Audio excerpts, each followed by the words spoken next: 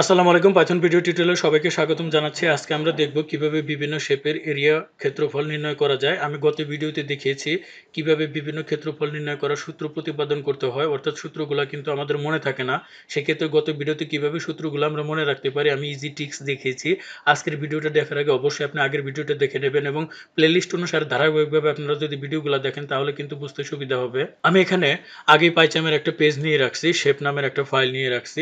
প্রথমে আমরা একটা বর্গের ক্ষেত্রফল দেখতে চাচ্ছি, সেই ক্ষেত্রে আমরা বর্গের ক্ষেত্রফল যদি নির্ণয় করতে যাই, গত ভিডিও অনুসারে আমরা দেখেছি বর্গের ক্ষেত্রফল হচ্ছে লেন্থ স্কোয়ার বা লেন্থ গুণন লেন্থ এক বাহুর উপর স্কোয়ার তো সেক্ষেত্রে আমরা বর্গের যদি ক্ষেত্রফল নির্ণয় করতে চাই, আমরা প্রথমে লেন্থ নেব এবং লেন্থটা নিলেই কিন্তু যেহেতু লেন্থ বা বাহুর উপর স্কোয়ার আমরা বাহুটা নেব, বাহুর মানটা নেব, সেটার উপর স্কোয়ার করলে কিন্তু ক্ষেত্রফল পেয়ে যাব।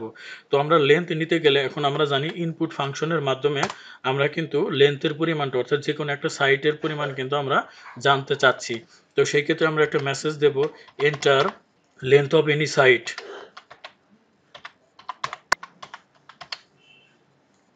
তো এখানে আমি লিখেছি enter length of any side যে কোনো একটা সাইড অর্থাৎ বর্গ, আমরা জানি সব দিকে কিন্তু সমান থাকে।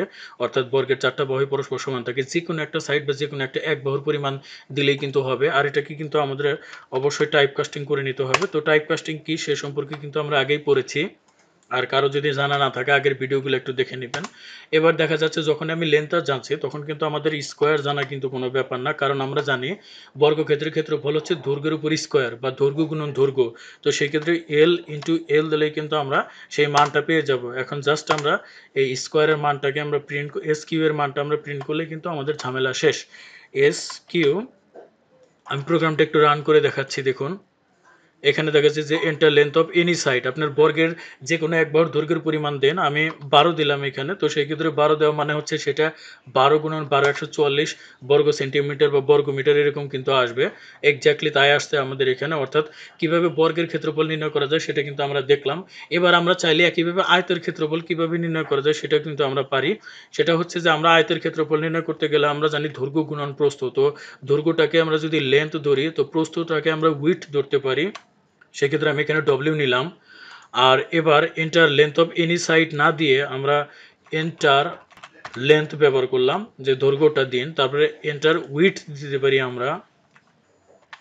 ইন্টার লেন্থ মানে হচ্ছে আপনি দৈর্ঘ্যটা দিন ইন্টার উইথ মানে আপনার প্রশস্তটা দিন। দেন আমি হিসাব করে দিচ্ছি যে আপনার সেই আয়তক্ষেত্রের ক্ষেত্রফল কত হবে? তো সেই ক্ষেত্রে আমি এখানে এল নিলাম, অর্থাৎ লেন্থটা নিলাম। আর আমরা জানি দৈর্ঘ্য, গুণন, প্রস্থ, তারপরে উইথটা নিলাম। এখন কিন্তু এখানে আমরা জানি এটা হচ্ছে রেক্টেঙ্গুলার তো সেক্ষেত্রে আর ইসি রেক্ট আর ইসি লিখলাম, পুরোপুরি লিখলাম না আর কি, বা আপনারা পুরোপুরিও লিখতে পারেন, যে কোনো ভেরিয়েবল নিলেই হয়। তো আর ইসি এখন যদি আমরা এটা প্রিন্ট করি, তাহলে কিন্তু হয়ে যাবে। তো আমি আবার একটু রান করে দেখাচ্ছি, দেখুন। এখানে লেন্থ হিসেবে আমি যদি বারো দেই এবং আমি উইথ হিসাবে যদি টেন দেই, আমরা জানি তাহলে কিন্তু একশো বিশ আসার কথা। দেখুন, এখানে কিন্তু ক্ষেত্রফল একশো বিশ এসেছে।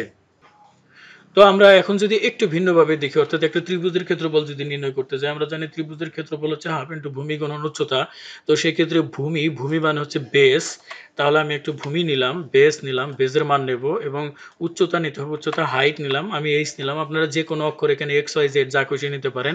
তো ইন্টার লেন্থ না দিয়ে ইন্টার আমি বেস দিতে পারি, যে আপনি বেসটা দিন ত্রিভুজের। আর এখানে আমরা বেস তো নিলামই, এরপরে আমাদের আর একটা যেটা লাগবে, সেটা হচ্ছে হাইট তারপরে আমি বললাম যে আপনি হাইটটা দিন। এখন আমরা যদি সেই ট্রায়াঙ্গেলের ক্ষেত্রফল যদি দেখতে দেখতে চাই, তাহলে টিআরআই লিখলাম আমি শুধু, পুরোপুরি লিখছি না। এখন সূত্রের ক্ষেত্রে আমরা জানি, এখানে কি করতে হবে? প্রথমে হাফ নিতে হবে। তো হাফ কিনে নিলাম আমরা? জিরো পয়েন্ট ফাইভ নিতে পারি। তাহলে কিন্তু হাফ নেওয়া হয়ে যাবে। তারপরে হচ্ছে বেস হাফ ইন্টু ভূমি গুণন দেন উচ্চতা এইস এটা নিলেই কিন্তু আমাদের হয়ে যাবে। এখন আমরা সেই, এখানে ট্রাই যদি লিখে দেই, আমাদের কিন্তু কাঙ্ক্ষিত ক্ষেত্রফলটা আমরা কিন্তু পেয়ে যাব। তারপরে আমি একটু রান করে দেখাচ্ছি, দেখুন। এখানে বেদ চাইছে, আমি যদি ভূমি হিসেবে চার দেই এবং এখানে উচ্চতা হিসেবে যদি সিক্স দেই, তাহলে কিন্তু এখানে টুয়েলভ আসতেছে। এক্স্যাক্টলি তাই আসার কথা, তাই আসতেছে। আমরা চাইলে কিন্তু এখানটা একটা মেসেজ দিতে পারি আউটপুটে একটা মেসেজ দিতে পারি, সেটা আমরা সবাই জানি। এখানে আমরা লিখতে পারি area area of a triangle তারপরে সমান দিতে পারি। আর আমরা জানি এখানে কিন্তু দেখুন ট্রায়াঙ্গেল একটা মান রয়েছে, সেক্ষেত্রে এখানে কোমা ব্যবহার করব। কারণ আমরা জানি যে ট্রায়াঙ্গেলে যদি কোনো ক্যারেক্টার থাকতো বা কোনো স্ট্রিং থাকতো, সেক্ষেত্রে আমরা প্লাস চিহ্ন দিই। আর যদি এই এই কোনো ভ্যারিয়েবলের আন্ডারে যদি কোনো সংখ্যা থাকে, সেক্ষেত্রে আমরা কিন্তু স্ট্রিংয়ের সাথে ব্যবহার করার সময় কোমা চিহ্ন ব্যবহার করি। এগুলো আমরা আগেই পড়েছি, আগেই জানি আমরা। তারপর আমি আবার একটু বললাম, এখন যদি আমরা বেস হিসাবে যদি দশ ব্যবহার করি এবং হাইট হিসাবে যদি আমি বারো ব্যবহার করি, তাহলে কিন্তু একশো বিশ আর তার অর্ধেক অর্থাৎ সিক্সটি আসার কথা। দেখুন এরিয়া অফ ট্রায়াঙ্গেল সিক্সটি এসেছে। তো সিমিলারলি আমি আসলে সবগুলাই দেখাতে চাচ্ছি না। ধরুন আপনি সামুদ্রিকের ক্ষেত্রফল বের করবেন। তো সামুদ্রিকের ক্ষেত্রে ভূমি গুণন উচ্চতা, তো আপনি ভূমির মান নেবেন, উচ্চতার মান নেবেন, দুইটা গুণ করলে কিন্তু পেয়ে যাবেন।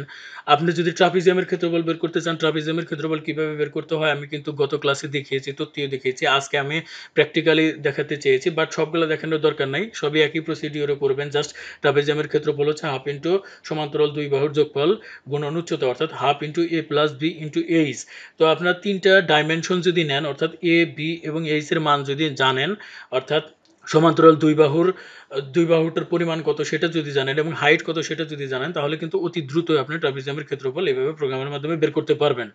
তো একইভাবে রম্বসের কথা বলি, সেটাও পারবেন, বৃত্তের কথা বললে সেটাও পারবেন। অর্থাৎ আপনি যে কোনো শেপের ক্ষেত্রফল নির্ণয় করতে পারবেন। জাস্ট সূত্রটা যদি আপনার জানা থাকে। আসলে কিন্তু খুবই সহজ এই প্রোগ্রামিংগুলো। আপনারা ধৈর্য সহকারে প্লেলিস্ট অনুসারে ধারাবাহিকভাবে দেখবেন, তাহলে কিন্তু অনেক ভালো লাগবে। আশা করি শেষ পর্যন্ত আমার সাথেই থাকবেন। সবাই ভালো থাকেন, সুস্থ থাকেন। আমার জন্য দোয়া করবেন। আসসালামু আলাইকুম।